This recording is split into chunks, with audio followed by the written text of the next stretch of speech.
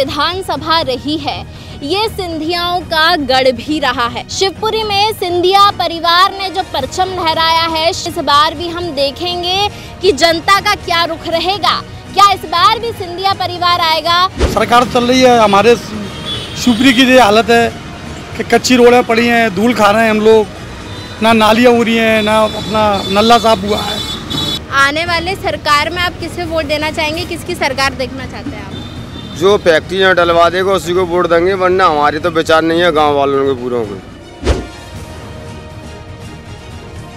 रोज़गार की क्या स्थिति है शिवपुरी में? रोज़गार तो देख लो सुबह आकर देखना सात बजे चौराहे पे दस हज़ार आदमी मिलेगा आपको बेरोजगार।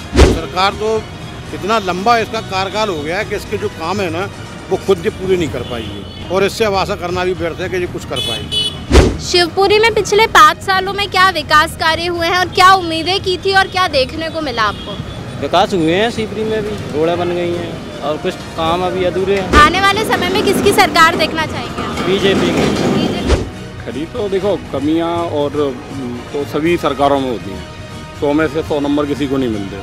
पर हाँ अगर सौ में से नब्बे नंबर भी मिल रहे हैं तो बहुत अच्छी सरकार है। सड़कें देख ली शिवपुरी में पाँच साल पहले कैसी थी अब कैसी हो गई हैं। टीम रोड देखो कितनी चमकती है। अब जब सरकार बदलेगी और नए काम करेगी अब पुरानी सरकार हो गई उनको मालूम है जनता बेवकूफ़ है हर बार बना देती है हम बैठ के राज करते हैं। जो मेरा मकान बना हुआ है ना वहाँ से जो नया सरपंच बना है वो रास्ता निकाल रहा है वो कह रहा है कि तेरे मकान को तोड़ो हाँ, उसकी कंप्लेंट करूँगा मैं ज़रूर मैडम जी। मेरी आपसे वीडियो पे उसको भेज देना कि मेरे मकान के जिस दिन टूटेगा मैं इस दिन गोली मारूँगा उसमें। बार सरकार पलटेगी और कांग्रेस का परचम लहराता दिखाई देगा शिवपुरी में। जानेंगे हम हमारी पूरी रिपोर्ट में।